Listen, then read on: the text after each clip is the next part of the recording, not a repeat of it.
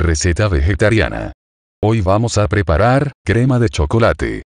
Ingredientes. 750 mililitros. De leche de arroz. 4 cucharadas al ras de maicena. 4 cucharadas de azúcar integral de caña. 150 gramos de chocolate negro. 4 cucharaditas de coco rallado.